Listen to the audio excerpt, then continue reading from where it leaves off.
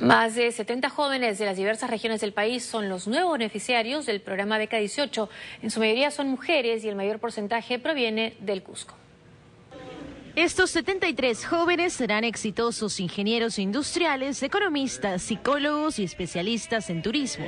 Tras un riguroso proceso de selección, se convirtieron en los nuevos beneficiarios del programa Beca 18, que les permitirá acceder a una carrera profesional de forma gratuita en una universidad en Lima. Esta es la, Universidad Antonio Ruiz de Montoya. Acá tenemos 73 becarios de este segundo grupo que ya comienza el año 2013. El año pasado tuvimos más de 5.000, como saben ustedes. Este año hemos seleccionado ya casi 4.000 becarios eh, del grupo ya de 2013.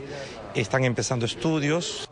Beca 18 recorrió diversas provincias de nuestro país en busca de los mejores alumnos para brindarles estudios que incluyen alojamiento, seguro médico y una laptop. Una de las seleccionadas fue Nancy Mamani, de 19 años y de la región Cusco, quien estudiará ingeniería industrial. Yo provengo de una, de una comunidad que se llama Maucao, del distrito de, Lares, que es de la provincia de Calca. Entonces, eh, mayormente mis papás se dedican a la agricultura. Entonces, yo he visto esta carrera que me puede ayudar a desarrollar primero en mi comunidad. Otra de las jóvenes que accederá a la beca es Lisbeth, una excelente estudiante ayacuchana que eligió la carrera de Economía y Gestión Ambiental.